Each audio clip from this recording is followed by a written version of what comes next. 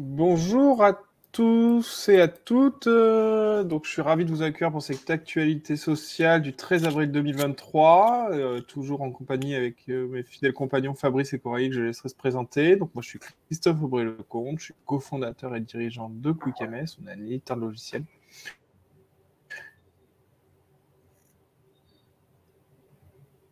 Ah, j'ai l'impression que Christophe nous a un petit peu quitté.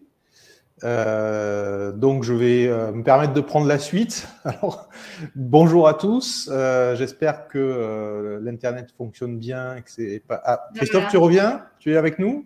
Ouais, je suis revenu. Ah, ben voilà, j'étais en train de prendre la suite parce que tu étais totalement filé. Vas-y.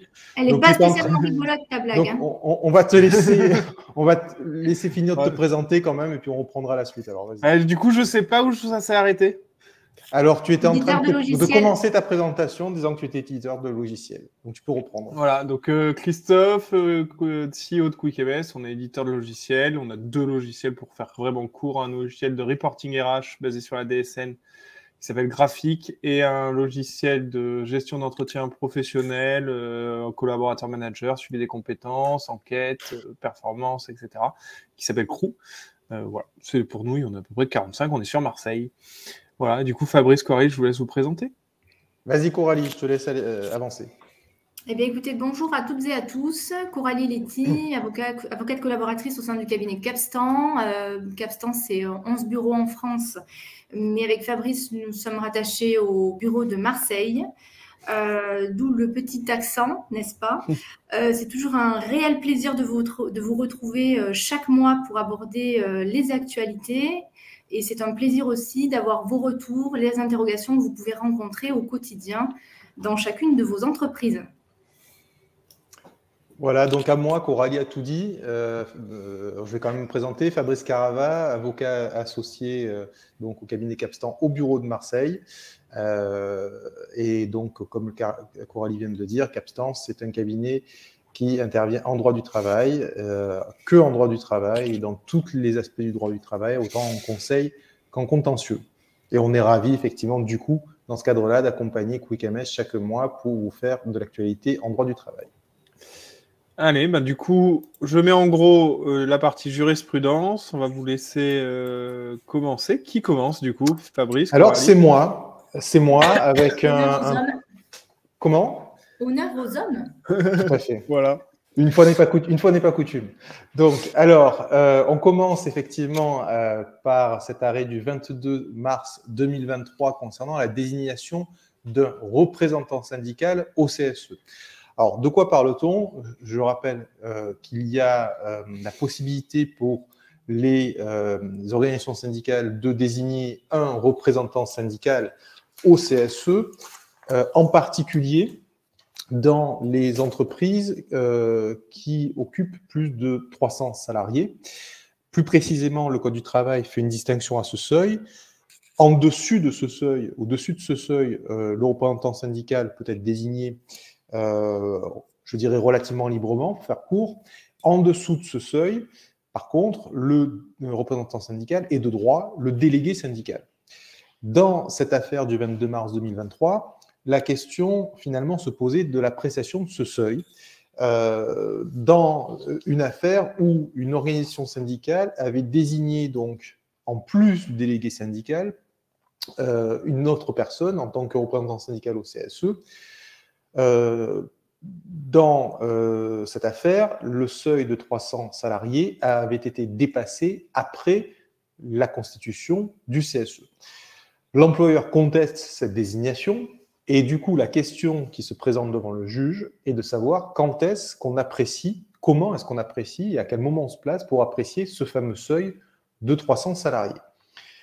Ce qu'il faut savoir, c'est que euh, les euh, dispositions du Code du travail renvoient à euh, une notion de 12 mois consécutifs pour l'appréciation de ce seuil.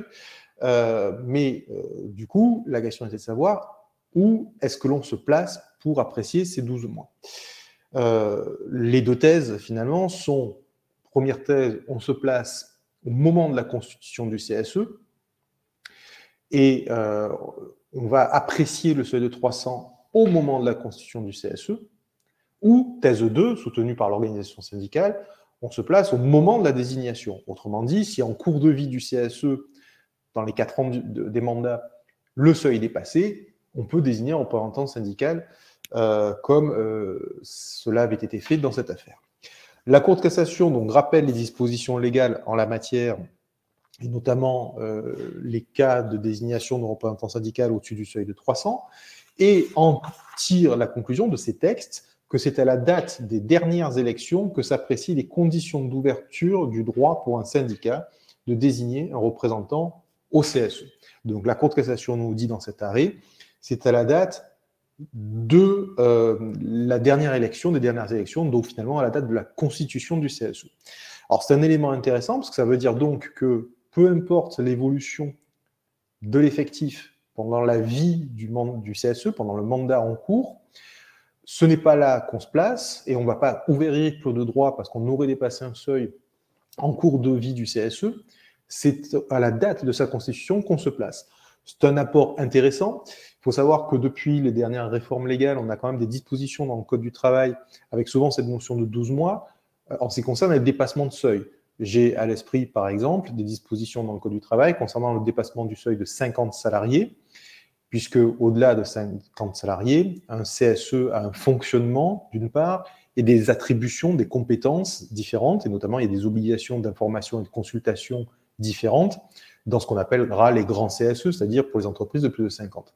On a cette même notion de 12 mois euh, qui revient dans plusieurs articles du COS. On a donc ici une indication sur comment on l'apprécie. La logique retenue par la Cour de cassation apparaît être de se placer au moment de la constitution du CSE, où c'est finalement là qu'on va voir euh, comment euh, s'organise le CSE, en l'occurrence en ce qui concerne la désignation du représentant syndical.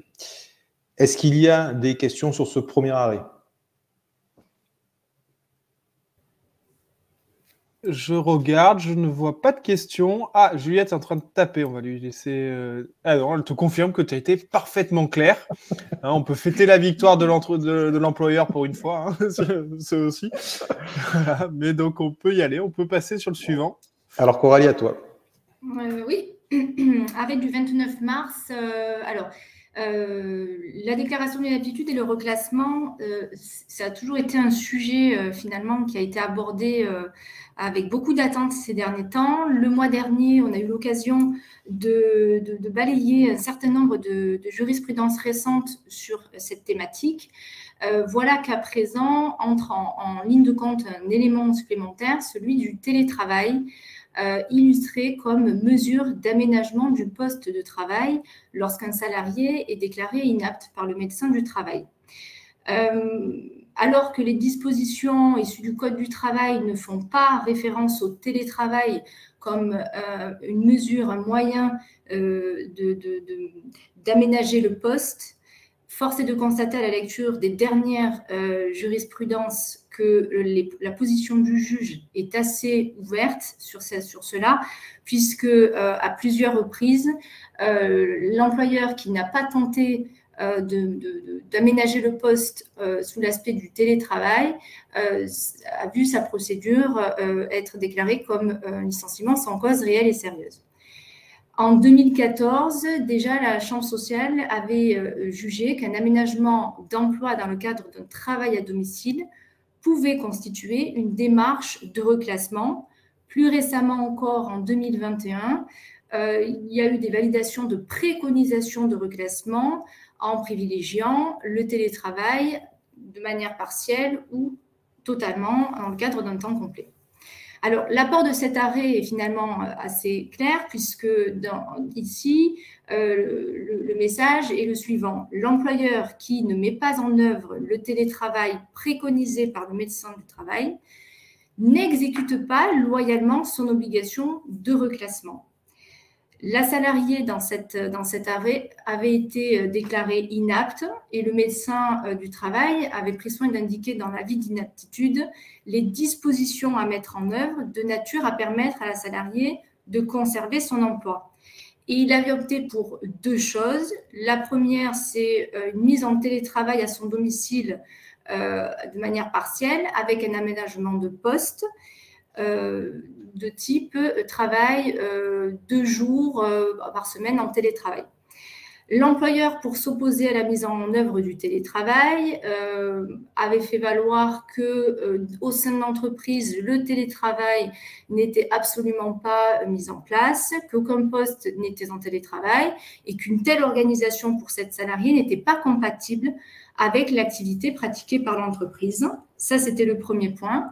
Le deuxième point, c'était de dire finalement, le médecin du travail euh, se, porte sur un, aménagement de cette nature, sans prendre soin d'étudier si euh, euh, cet aménagement aurait été possible tout en maintenant l'exercice du poste qu'elle occupait jusqu'alors.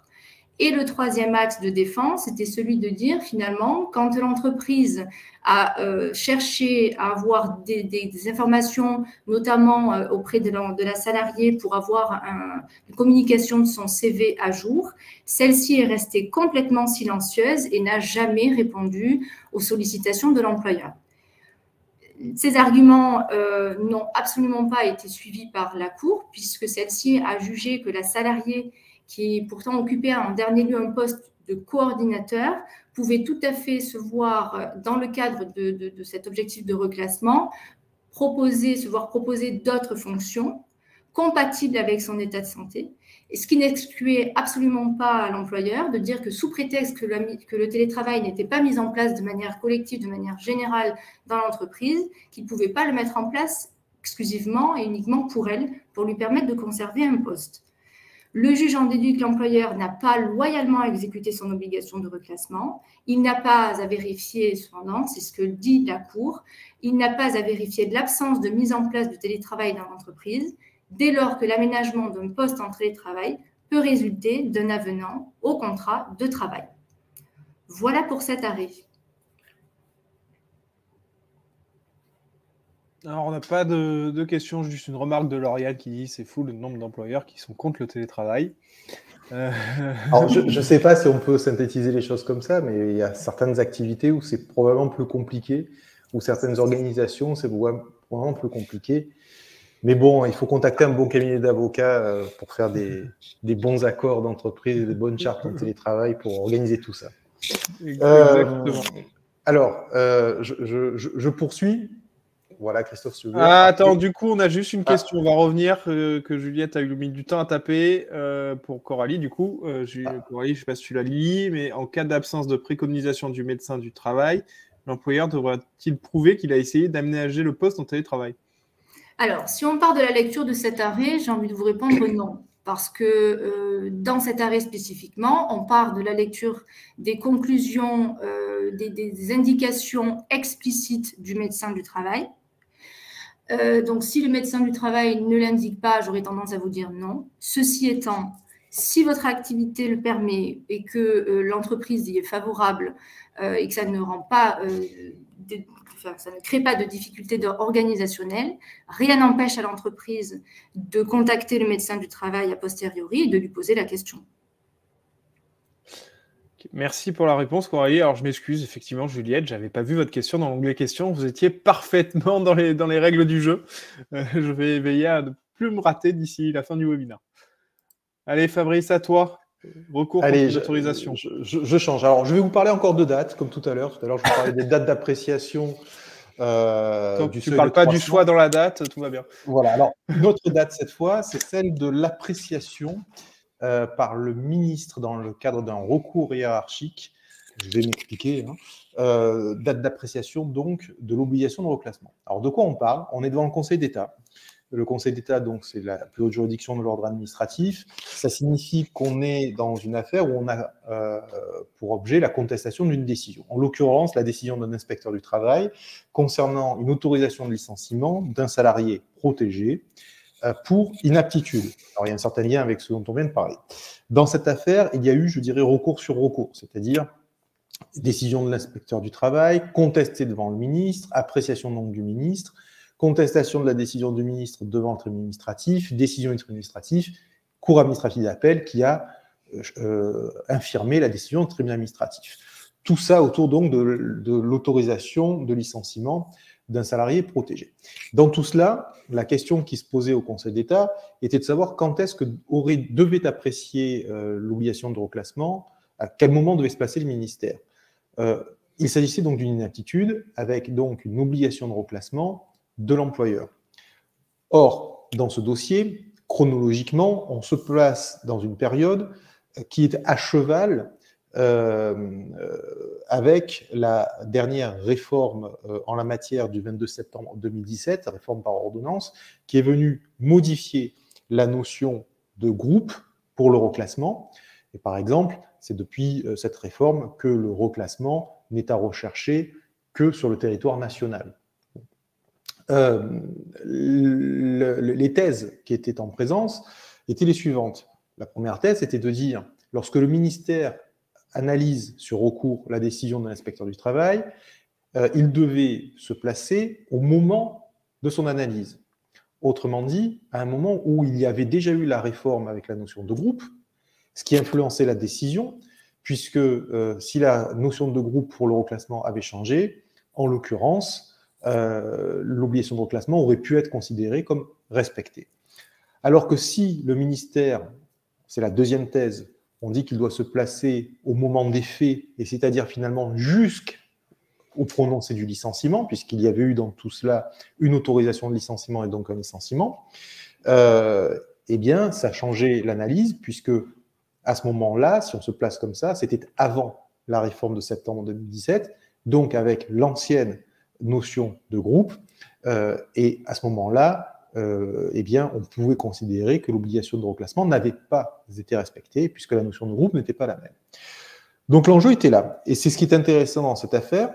Alors le Conseil d'État, finalement, pour synthétiser, euh, vous l'avez à l'écran, nous dit qu'on apprécie la recherche de reclassement jusqu'à la date du licenciement. C'est-à-dire lorsque le ministère doit, sur recours, analyser une obligation de reclassement, il doit euh, l'analyser jusqu'à la date du licenciement et non pas à la date de son analyse qui peut intervenir X mois ou même années après euh, le licenciement. Alors, c'est un arrêt qui est intéressant, euh, arrêt du Conseil d'État, parce que autant la jurisprudence, je dirais, on a, lorsqu'il y a des évolutions de jurisprudence, il y a une appréciation qui peut être différente dans le temps, et on a des, des évolutions de jurisprudence qui font que dix ans après les faits, euh, finalement les juges appréciaient avec une grille de lecture qui n'existait pas dix ans avant. Ça, c'est pour la jurisprudence. Mais là, il s'agissait finalement d'apprécier l'application de la loi dans le temps et comment le ministre, et donc le juge derrière, doit appliquer la loi? Est-ce que c'est la loi au moment des faits ou est-ce que c'est la loi au moment où il se place pour analyser? Et donc, c'est au moment des faits. Donc, c'est un élément intéressant. Et si je fais cette remarque, c'est qu'il y a une première grille de lecture qui est de lire l'arrêt avec un niveau 1 qui est de dire, ben voilà, en matière de recherche de replacement, c'est jusqu'à la date du licenciement qu'il faut se placer que le ministère doit se placer quand il analyse un recours sur une décision d'inspecteur du travail. Et puis, il y a, à mon avis, le niveau 2 qui peut permettre, hein, pour tout autre contentieux, d'essayer de tirer un peu le sens de cet arrêt, en l'extrapolant un peu, hein, je, l'accorde, euh, qui est euh, de dire, ben, finalement, il vient confirmer qu'on doit appliquer euh, les règles légales au moment des faits et non pas X années après lorsqu'on les analyse de nouveau, là en l'occurrence lorsque le ministère euh, analyse de nouveau. Donc voilà ce qui est euh, dit et l'apport de cet arrêt du Conseil d'État du 21 mars 2023. Est-ce qu'il y a des questions sur cet arrêt? Alors, je regarde. Non, on n'a pas de questions, Fabrice. Et je ne pas raté non plus dans l'onglet questions. Non, il n'y en a pas, oui. Allez, Allez, autre jurisprudence qui pose question euh, sur la place de la preuve illicite dans le contentieux du travail. Euh, la question qui était posée euh, à la Cour de cassation était la suivante. Est-ce que l'illicéité d'un moyen de preuve entraîne nécessairement son rejet des débats? Eh bien, sur le fondement des articles 6, droit à un procès équitable, et 8, droit à la vie privée et familiale de la CEDH, la Cour de cassation a retenu que l'illicéité d'un moyen de preuve n'entraîne pas systématiquement et automatiquement son rejet des débats. Concrètement, en présence d'une preuve illicite, le juge doit adopter donc euh, euh, euh, des, habitudes, on va dire, des réflexes pour, pour retenir ou écarter une preuve dite illicite. En premier lieu, le juge doit s'interroger sur la légitimité du contrôle opéré par l'employeur et vérifier s'il existait des raisons objectives qui justifiaient le recours à la surveillance. En l'occurrence, c'était l'exploitation d'un enregistrement illicite. Autrement dit, ici, on doit vérifier si l'employeur euh, avait euh, d'autres moyens de prouver euh, ses arguments ou si la preuve illicite n'était finalement que le seul moyen pour lui de prouver ses, arguments. Ensuite, il appartient, il faut rechercher si l'employeur ne pouvait pas atteindre un résultat identique en utilisant des moyens plus respectueux de la vie personnelle, donc, euh, c'est encore une gradation dans est-ce qu'il y a d'autres moyens de prouver est-ce qu'il y a d'autres moyens non attentatoires à la vie personnelle? Et enfin, le juge doit apprécier le caractère proportionné de l'atteinte.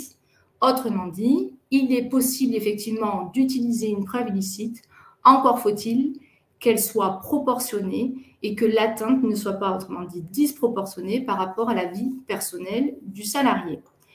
Très rapidement, par rapport au fait d'espèce, ici, il s'agissait d'enregistrements litigieux extraits euh, d'une caméra de vidéosurveillance qui constituait ici le moyen de preuve illicite, puisque la production de ces enregistrements, euh, les juges avaient estimé qu'il n'était pas indispensable à l'exercice du droit de la preuve, parce que l'employeur aurait pu euh, démontrer les choses différemment, notamment en produisant en justice des audits euh, ce qu'il n'a pas fait. Il s'est contenté dans, dans, cette situation, dans cette affaire, de verser uniquement euh, les enregistrements vidéo, euh, ce qui a été complètement écarté, puisque en, réalité, il disposait d'un autre moyen de preuve, l'audit, sur lequel il aurait pu s'appuyer et ce qu'il n'a pas fait.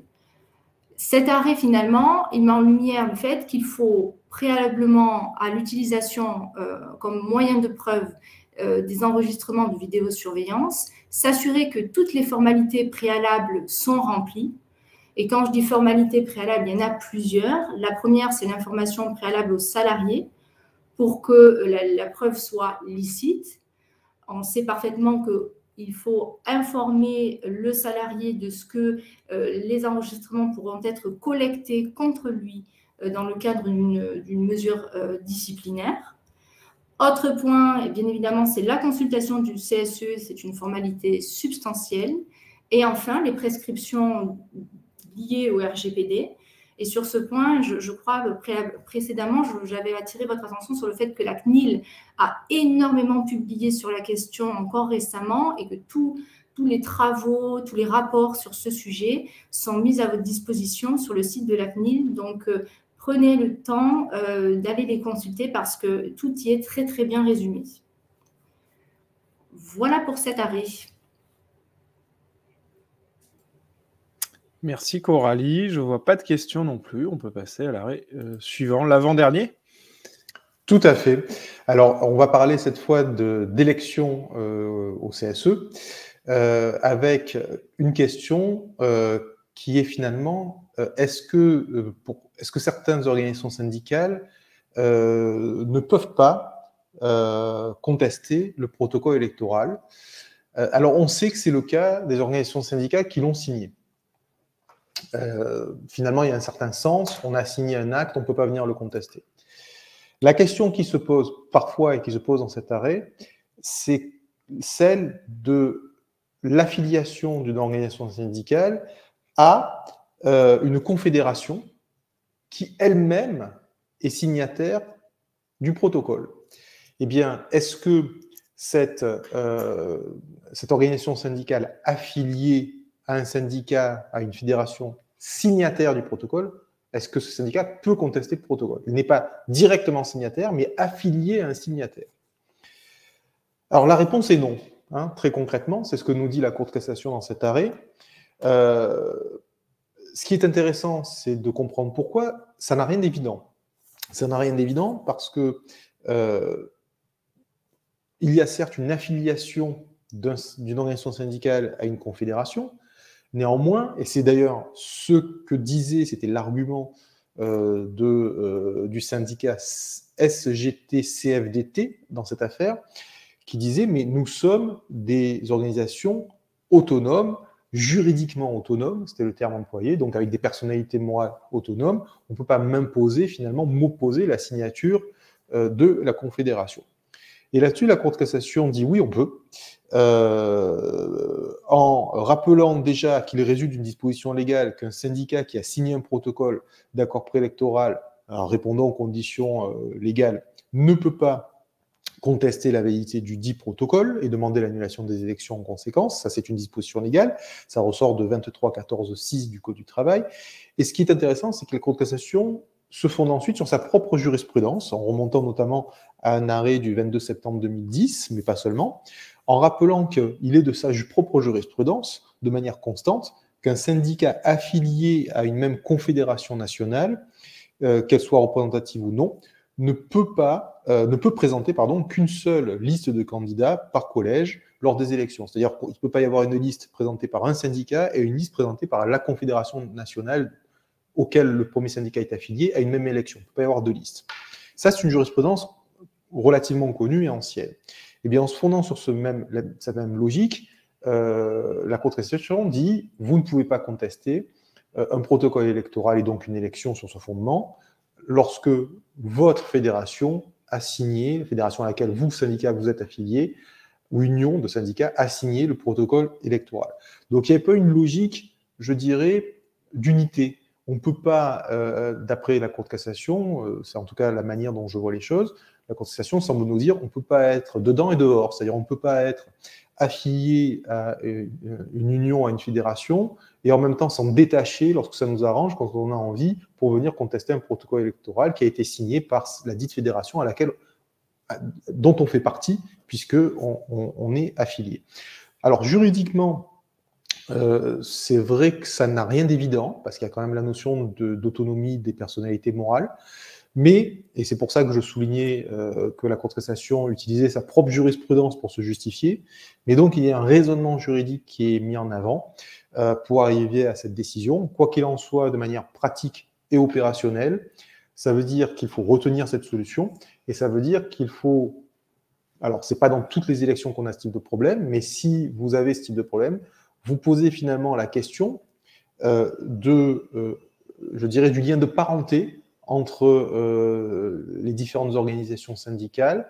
Euh, est-ce que effectivement une organisation syndicale qui vous cause un souci et qui fait un recours contre un protocole en l'occurrence est apparentée, est affiliée ou pas euh, à une, fédération qui est aussi dans le jeu de votre élection?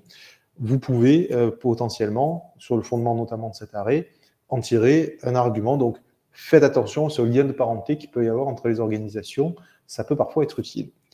Est-ce qu'il y a des questions euh, sur cet arrêt? Alors, l'onglet questions. Euh, oui, Juliette nous refait une question dans l'onglet questions. Bravo, Juliette. Le syndicat affilié ne peut pas contester le protocole, mais pourquoi ne peut-il pas demander de l'annulation?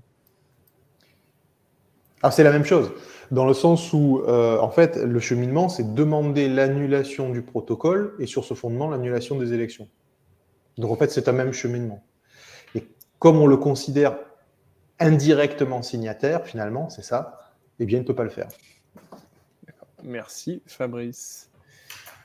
Allez, on, termine, avec, la meilleure d'entre nous, Fabrice. la, plus, la plus féminine aussi. Il y a un lien. Le harcèlement est à la mode. Et en plus, elle parle d'harcèlement, tiens, c'est beau. Pour changer un peu. Non, pour changer un peu, c'est vrai, parce que là, pour le coup, euh, on se pose la question dans cet arrêt de la nullité d'une rupture conventionnelle conclue sur fond de violence morale.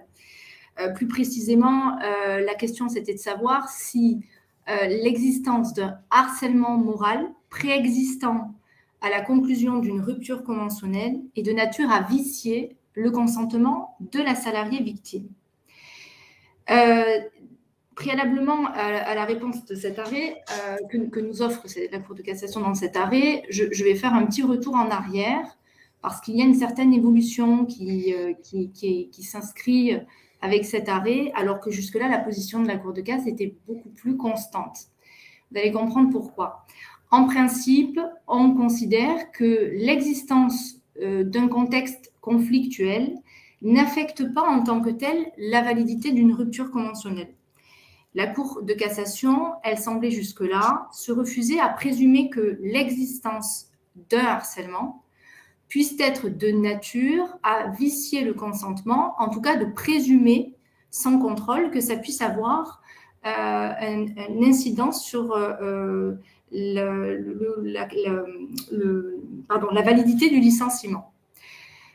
La Cour de cassation avait jusque-là admis qu'une rupture conventionnelle puisse être conclue lorsqu'un salarié placé en arrêt de travail non professionnel, de nature professionnelle ou placé encore en congé maternité puisse euh, mettre fin à son contrat de travail via la signature d'une rupture conventionnelle.